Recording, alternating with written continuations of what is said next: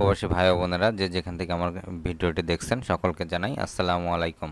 আজ আমরা ভিডিওতে একটি গুরুত্বপূর্ণ বিষয় নিয়ে জানব। সেটি হচ্ছে যে আমরা কোনো কিছু কেনাকাটা করতে গেলে কীভাবে দোকানদারের সাথে কথা বলতে হয় সেই বিষয়ে একটি পূর্ণ কথোপকথন। আশা করব সম্পূর্ণ ভিডিওটি মনোযোগ সহকারে দেখবেন এবং চ্যানেলটিতে একটি করে লাইক দিবেন। আর অবশ্যই এ ধরনের ভিডিও পেতে চ্যানেলটিতে সাবস্ক্রাইব করবেন।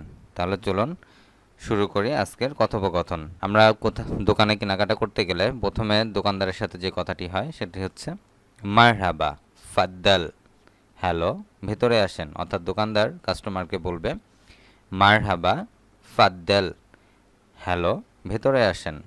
কাস্টমার উত্তর দিবে বা কাস্টমার হিসাবে আমরাও যখন উত্তর দিব, তখন হবে, কেবল হাল মুদির, কেমন আছেন ম্যানেজার? আমি আবার বলি দোকানদার যখন বলবে মার মারহাবা, ফাদ্দাল যার অর্থ, হ্যালো, ভেতরে আসেন কাস্টমার হিসাবে আমরা বলতে পারি, কেবল হাল মুদির, কেমন আছেন, ম্যানেজার? দোকানদার, আলহামদুলিল্লাহ, কেফিন্ত কেফিন্ত বা কেফিনতা অর্থাৎ ছেলে হলে ইন্ত, মেয়ে হলে ইন্তা। আল্লাহর রহমতে ভালো আছে। আপনি কেমন আছেন বা আপনি কেমন? কাস্টমার কয়েস, কাম ফুলো সাদা, হাদা কাম। অর্থাৎ ভালো, এটার দাম কত বা এইটা কত? হাদা কাম, সংক্ষেপে আমরা বলতে পারি হাদা কাম। এর দাম কত বা এটা কত? দোকানদার বলতে পারে হাদা মিয়া রিয়াল এইটা একশো টাকা। এটা যে কোনো অ্যামাউন্টের হতে পারে। তো এখানে কাল্পনিকভাবে একটি অ্যামাউন্ট বলা হয়েছে। হাদা মিয়া রিয়াল এটা একশো টাকা। কাস্টমার নাগেজ কাম নেহাই নাগেজ বা কাম নেহাই, অর্থাৎ কম কত? আমরা এই ধরনের দামাদামি করি, কোনো কিছু কিনতে গেলে আমরা যখন দামাদামি করি, এই ধরনের কথা বলতে পারি। নাগেজ বা বলতে পারি কাম নেহাই, অর্থাৎ কম কত? দোকানদার বলতে পারে মাফি নিহাই, অর্থাৎ কম নাই। মাফি নিহাহি অর্থ কম নাই। হাদা আগে আনা রাখিস অর্থাৎ এটা আমার কেনা দাম বা এটা আমার বিক্রি করা দাম। এর থেকে কম আমি নিতে পারব না। এ ধরনের কথা বলতে পারে সে যে হাদা আগে আনা রাখিস এটা আমার কেনা দাম। কাস্টমার, লা হাদা গালি মা একবা। অর্থাৎ না, এটার অনেক দাম আমি নিব না। অর্থাৎ আমাদের সামর্থ্যের বাইরে যখন হয়ে যায়, তখন আমরা এই ধরনের কথা বলে থাকি বা এই ধরনের কথা বলতে পারি যে লা অর্থ না হাদা গালি গালি অর্থ দামি, এটা অনেক দাম বা অনেক দামি, মা একবা, অর্থাৎ আমি নিব না। দোকানদার, কামাতিক, কত দিবেন? প্রসঙ্গতে এই ধরনের কথা আসে যে আপনি কত দিবেন বা কত দিতে চাচ্ছেন। তখন কাস্টমার হিসেবে আমরা একটি দাম বলতে পারি, একটি সামঞ্জস্যপূর্ণ দাম বলতে পারি বা যেটি আমার সামর্থ্যের মধ্যে সে ধরনের একটি কথা বলতে পারি। যেহেতু দোকানদার একশো টাকা বলছে, আমরা বলতে পারি তা মানেন রিয়াল। আশি টাকা। অর্থাৎ আশি টাকা দিব। তামানিন রিয়াল আশি টাকা। দোকানদার ক্যাম হাব্বা, কয়টা নেবেন? ক্যাম হাব্বা অর্থ কয়টা নেবেন? কাস্টমার, এতনিন হাব্বা, হাদা আসলি লা তিজারি এতনিন অর্থ দুইটা, হাব্বা অর্থ নিব বা নেওয়া। হাদা আসলি অর্থ এটা আসল লা তিজারি না নকল। তিজারি অর্থ নকল, আসলি অর্থ আসল। অর্থাৎ আমি নিব, এটা আসল না নকল? আমরা অনেক সময় এটা বলে থাকি বা যে কোনো জায়গায় আমরা আসল নকল বিচার করে থাকি।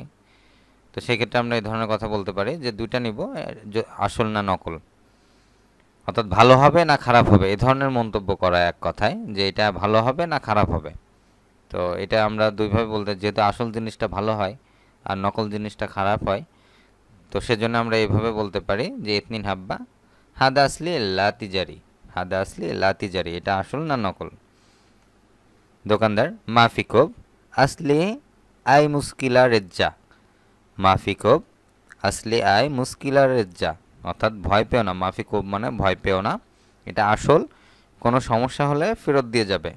আমরা এই ধরনের দোকানদারদের মুখ থেকে কথা শুনতে পারি বা আমরা যখন দোকানদার হিসাবে কথা বলব তখন এই ধরনের কথা বলতে পারি যে এটা আসল, কোনো সমস্যা হলে ফেরত দিয়ে যাবেন।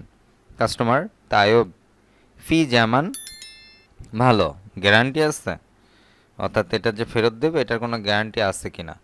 যে ভালো তাইব অর্থ ভালো গ্যারান্টি আছে ফি জামান জামান অর্থ গ্যারান্টি দোকানদার, আইওয়া সিত্তা সাহার, আইওয়া সিত্তা সাহার হ্যাঁ ছয় মাস, অর্থাৎ ছয় মাসের গ্যারান্টি আছে। আইওয়া অর্থ হ্যাঁ? সিত্তা সাহার অর্থ সিত্তা অর্থ ছয় আর সাহার অর্থ মাস। অর্থাৎ ছয় মাসের গ্যারান্টি আছে। কাস্টমার হিসেবে আমরা বলতে পারি, জিপ, খুদ, ফুলুস, দাও, টাকা নাও। অর্থাৎ আমাকে দেন আর টাকাটাই নেন, টাকা নেন। জিপ অর্থ দেন বা দেওয়া, খুদ অর্থ নেওয়া, ফুলুস অর্থ টাকা। তো জিভ খুদ, ফুলুস, দেন, টাকা নেন।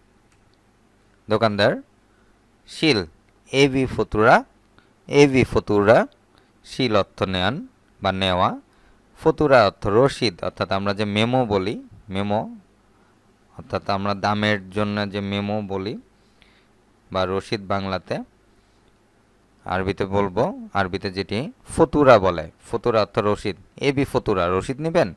কাস্টমার, আইওয়া একবা ফতুরা হ্যাঁ রসিদ লাগবে। এখানে এক আবগা আবগা ফতুরা বা একবা ফতুরা রশিদ লাগবে। আফওয়ান আইসা একবা তাল, দোকানদার হিসাব, দোকানদার বলতে পারে। আফওয়ান আইসা একবা তাল। আপনাকে ধন্যবাদ, কোনো কিছু লাগলে আবার আসবেন। আমরা এই ধরনের কথা দোকানদারের মুখ থেকে শুনতে, শুনি বা আমরা যখন দোকানদার হিসাবে কাস্টমারকে বলব তখন আমরা এই ধরনের কথা বলতে পারি যে কোনো কিছু লাগলে আসবেন, আবার আসবেন। কাস্টমার মার্সালাম, শুভ বিদায়। মার্সালাম অর্থ শুভ বিদায়। আজ পর্যন্তই। ভিডিওটি কেমন লাগল অবশ্যই তা কমেন্টের মাধ্যমে জানাবেন এবং একটি করে লাইক দিবেন। দেখা হবে পরবর্তী ভিডিওতে। সে পর্যন্ত সকলেই ভালো থাকবেন। আল্লাহ হাফেজ।